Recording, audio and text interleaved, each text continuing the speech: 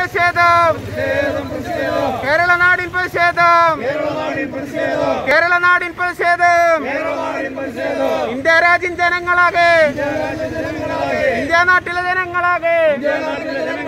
Corona വന്ന് മരിക്കുമ്പോൾ corona വന്ന് മരിക്കുമ്പോൾ. നരേന്ദ്രമോദിയും കൂട്ടാളികളും. നരേന്ദ്രമോദിയും കൂട്ടാളികളും. കണ്ണും തട്ടിയിരിക്കുന്നു. കണ്ണും നട്ടിരിക്കുന്നു പ്രതിഷേധിക്കൂ പ്രതികരിക്കൂ. പ്രതികരിക്കൂ. നാട്ടാരെ. പ്രതികരിക്കൂ നാട്ടാരെ. ഇൻകുലാബ് സിന്ദാബാദ്.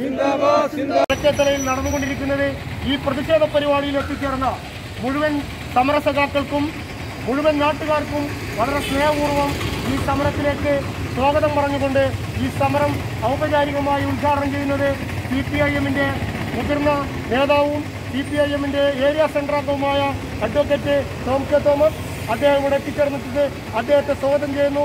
അതോടൊപ്പം തന്നെ സി പി ഐ എമ്മിന്റെ ഏരിയ കമ്മിറ്റി അംഗം സഖാവ് സജാദ് ഹുസൈൻ അതോടൊപ്പം തന്നെ സി പി ഐ എമ്മിന്റെ കിഴക്കേത്തല ബ്രാഞ്ച് സെക്രട്ടറി സഖാവ് കുഞ്ഞാപ്പുവാജി സി പി ഐ എമ്മിന്റെ ലോക്കൽ കമ്മിറ്റി അംഗം സഖാവ് എഫ് ഐയുടെ മേഖലാ സെക്രട്ടറി സഖാവ് അനസ് ഡി വൈ എഫ് ഐയുടെ മേഖലാ പ്രസിഡന്റ് സഖാവ് ഫർഹാൻ എസ് എഫ് ഐയുടെ സംസ്ഥാന കമ്മിറ്റി അംഗം സഖാവ് എം സജീവമായ തുക ചുമത്തിക്കൊണ്ട് ആ വാക്സിനുകൾ നൽകാനാണ് കേന്ദ്ര ഗവൺമെന്റ് തീരുമാനിച്ചിട്ടുള്ളത്. ആ വാക്സിന്റെ മുതലാളി പൂനാവാല എന്ന് പറയുന്ന ആളാണ് സിറം ഇൻസ്റ്റിറ്റ്യൂട്ടിന്റെ മുതലാളിയായിട്ട് നിൽക്കുന്നത്. അതൊരു കുത്തക കമ്പനിയാണ്. ഒരു മുതലാളിത്ത സംവിധാനമാണ്. ആ സംവിധാനം ഉൽപ്പാദിപ്പിക്കുന്ന വാക്സിൻ നാളിന്ന് വരെ എല്ലാ കാലത്തും ഇന്ത്യയിൽ ഉൽപ്പാദിപ്പിച്ചിട്ടുള്ള വാക്സിൻ ഇന്ത്യയിലെ ജനങ്ങൾക്ക് സൗജന്യമായി നൽകി ഇന്ത്യയിലെ ജനങ്ങളെ മരണത്തിൽ നിന്നും രക്ഷപ്പെടുത്താൻ അതാത് കാലഘട്ടത്തിലെ കേന്ദ്ര ഗവൺമെന്റ് തയ്യാറായിട്ടുണ്ടെങ്കിൽ ഈ ഗവൺമെന്റ് ഈ രാജ്യത്ത് നൂറുകണക്കിന് ആളുകൾ ആയിരക്കണക്കിന് ആളുകൾ ഓരോ ദിവസവും ഇന്ത്യ രാജ്യത്തിന്റെ തെരുവോരങ്ങളിൽ മരിച്ചു വീഴുമ്പോൾ ആ മരിച്ചു വീഴുന്ന ആളുകളെ സംരക്ഷിക്കാനുള്ള ഉത്തരവാദിത്വം നരേന്ദ്രമോദിയുടെ നേതൃത്വത്തിലുള്ള കേന്ദ്ര ഗവൺമെന്റ് കാണിക്കുന്നില്ല എന്ന് മാത്രമല്ല അതിനാവശ്യമായിട്ടുള്ള മരുന്ന് ഉയർന്ന വിലയ്ക്ക് വിറ്റ് ഈ ഗതികേടിലാകുന്ന ഇന്ത്യയിലെ ജനങ്ങളെ ചൂഷണം ചെയ്ത് വൻകിട മുതലാളിമാർക്ക് തടിച്ചു കൊഴുക്കുന്നതിനാവശ്യമായിട്ടുള്ള സമീപനമാണ് സ്വീകരിക്കുന്നതെന്ന് നമുക്ക് കാണാൻ വേണ്ടി കഴിയും. മൃഗ മൃഗ ചത്തു വീഴുന്ന മൃഗങ്ങൾക്ക് ചുറ്റും കാവലിരിക്കുന്ന കഴുകന്മാരെ പോലെയാണ് ഇന്ത്യയുടെ ബി ജെ പിയുടെ ഭരണകൂടം. ഓരോ തെരുവോരങ്ങളിൽ നമുക്കറിയാം ഭാര്യയുടെ ജീവൻ രക്ഷിക്കാൻ ഭർത്താവ് അലമുറയിട്ട് കരയുന്ന കാഴ്ച നമ്മൾ കണ്ടു.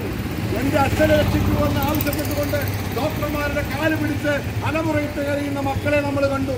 അങ്ങനെ വാക്സിൻ ഓക്സിജൻ കിട്ടാതെ മരുന്ന് കിട്ടാതെ ആശുപത്രി കിടക്കകളിലേക്ക് പോലും എത്തുന്നതിന് മുമ്പ് ആംബുലൻസിനകത്ത് വെച്ച് ആംബുലൻസിൽ നിന്നും ആശുപത്രിയിലേക്ക് എത്തുന്നതിന് മുമ്പ് ആശുപത്രി കിടക്കകളിൽ വെച്ച് നൂറുകണക്കിന് ആളുകൾ മരിച്ചു വീഴുകയാണ്. ഈ മരിച്ചു വീഴുന്ന ആളുകളെ അവരുടെ മതവിശ്വാസ പ്രകാരം അവരുടെ ആചാരപ്രകാരം ഒന്ന് സംസ്കരിക്കാൻ പോലും ഇന്ത്യ രാജ്യത്ത് സാധിക്കുന്നില്ല.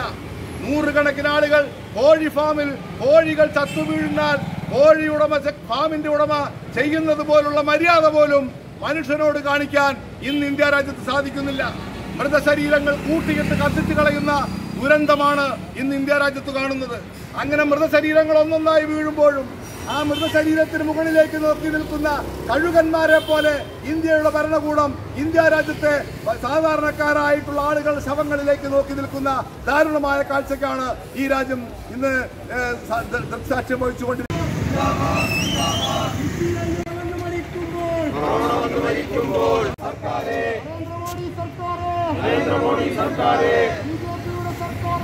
സി പി ഐ എം സിന്ദാബാദ്. ഇല്ല ഇല്ല നിങ്ങൾക്ക് മാപ്പ് തരില്ല. വാക്സിനെല്ലാം കുറ്റകൾക്ക്.